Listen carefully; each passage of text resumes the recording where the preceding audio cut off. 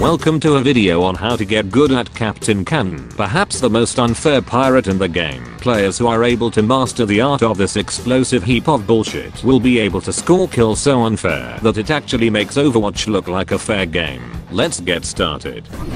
Captain Cannon is a variant of the pirate class and is one of the three manual detonation variants in the game. Like the other manual detonation characters, Captain Cannon's primary shares their functionality of being able to detonate their shots mid-flight, causing them to explode, making them ideal for corner checking or for fast moving targets. His sniper can fire at up to 85 rounds per minute, and his shotgun can fire at 125 rounds per minute, with them sharing 8 rounds per clip before needing to take a 2 second reload. Each shot fired from the shotgun can deal 25 damage per hit. Alternatively, the sniper can deal 40 damage for a normal hit, 46 for a critical hit, and up to 32 damage for the manual explosion. Because of the nature of his weapon, it may be somewhat awkward to use at first, though once you manage to get the swing of things and realize that this old fuck has more devastating power than fucking Chernobyl, then you can very easily use it to your advantage and completely mop the floor with anyone who dares oppose you. The optimum upgrade setup for Captain Cannon would be the ammo, reload, and damage upgrades, with the ammo upgrade being especially important as due to Captain Cannon's relatively small clip of only 8 ammo means that having additional ammo will go a long way, especially since the small ammo count heavily restricts the amount of use that your shotgun will get, and the damage upgrade whilst it doesn't affect the manual detonations, it does make scoring direct hits much more rewarding as it does reduce the number of direct hits against pea shooters and cacti. Perfect for if you are able to land your hits. In terms of strengths, Captain Cannon can very easily output large amounts of damage, and with his manual detonation explosions being relatively large in size, it means that very little precision is required in using his sniper. His large explosion radius also means that he can take on multiple enemies at once, which is something that most other pirates tend to struggle with.